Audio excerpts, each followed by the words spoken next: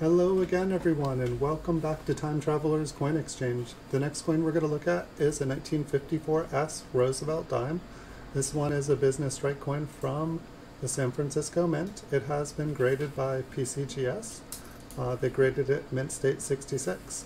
Uh, now this coin is a natural silver color. It has no yellow on it. Uh, it's just a yellow lamp in the room. Uh, it shows the details of the coins really well here, but it makes them look a little yellow, so I do apologize for that. Uh, if you guys enjoy the videos, you're in luck because there's nearly 5,000 more of them on my master playlist.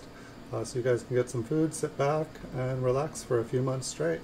There's that many of them. so I really hope you guys like them. Uh, and thanks for the support, everyone. Uh, you guys have gotten me to 3,975 hours on my watch hour goal.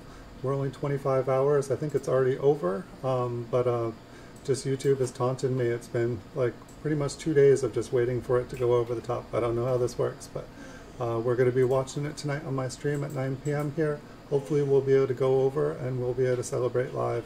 Um, so thanks everyone for the support again. You guys have been awesome.